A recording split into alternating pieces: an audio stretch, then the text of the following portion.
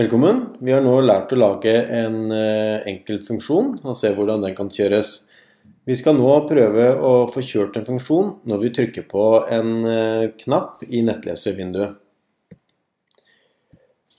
Først begynner vi med å lage en knapp. Så da begynner jeg å lage et lite linjeskift i eh, index.html, og så lager jeg et nytt input-element.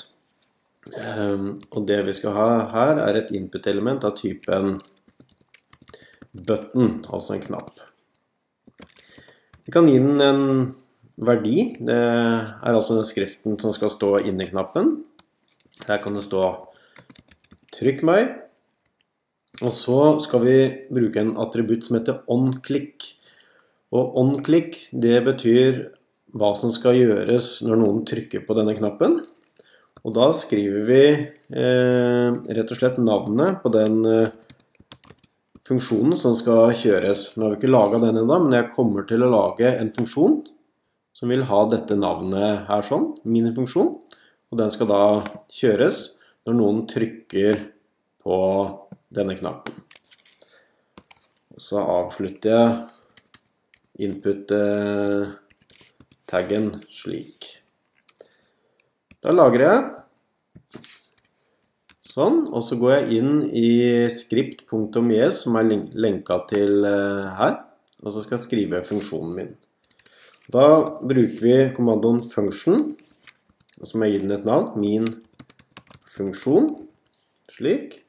Og så var det disse snirkelparentesene. Det som står inne i funksjonen her, det er den koden som blir kjørt når noen ber om at denne kjøres. Så da skriver vi konsol.log. Du trykket på knappen sånn. Og dette her er kode som kun kjøres når noen ber om at funksjonen, min funksjon, skal kjøres. Og denne her blir kjørt fordi vi har attributten onClick på knappen som vi har laget. Når noen trykker på den knappen, da ber vi om at eh, min funksjon skal kjøres. Skal vi se om dette eh, virker. Vi åpner nettleseren, og så kjører vi programmet, og da ser vi når det dukka opp en knapp her.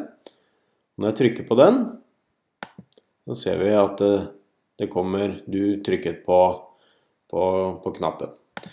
Og nå kan vi, eh, ved å bruke funksjoner, så kan vi nå bestemme hva slags kode som skal kjøres når vi trykker på den ene eller andre knappen.